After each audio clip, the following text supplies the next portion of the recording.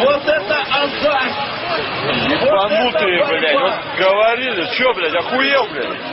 Итак, Сами лезли, на.